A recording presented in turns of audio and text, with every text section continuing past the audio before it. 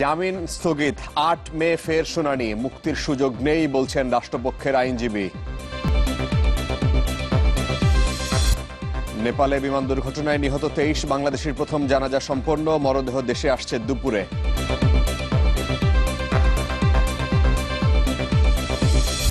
রাশিয়ায় আবারও পুতিন রাজত্ব প্রেসিডেন্ট নির্বাচনে প্রাথমিকভাবে জয়ী ঘোষণা।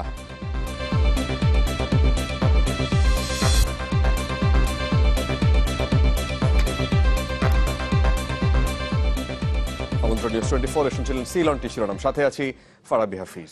ট্রাস্ট দুর্নীতি মামলায় খালেদা জিয়ার জামিন স্থগিত করেছেন আপিল বিভাগ।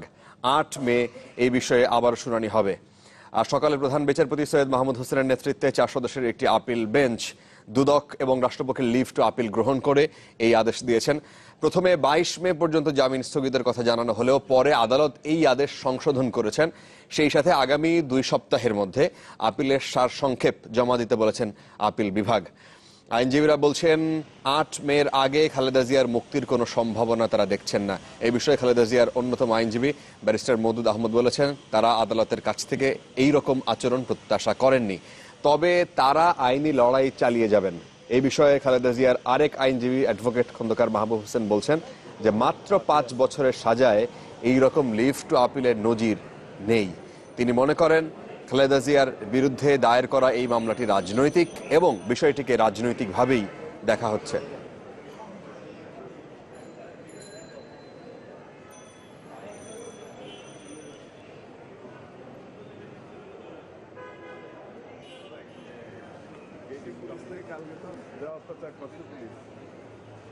আমরা এটা আশা করি নাই।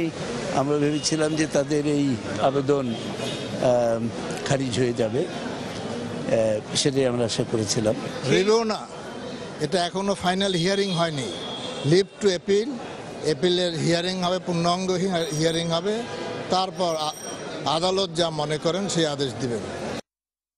HRRM জিয়া অরফানেস ট্রাস্ট দুর্নীতি মামলায় খালেদা জিয়ার জামিন বিষয়ে সরাসরি জানতে চাই। সুপ্রিম কোর্ট থেকে সরাসরি যোগ দিচ্ছেন মাসুদ রহমান। মাসুদ এই রায় বিষয়ে আপনি বলুন আইনজীবীদের কাছ থেকে কি কি জানতে পারলেন যে আট মের আগে শুনানি হচ্ছে না? সুতরাং খালেদা জিয়া এই সময়ের মধ্যে আর কারাগার থেকে বাইরে আসতে পারছেন না।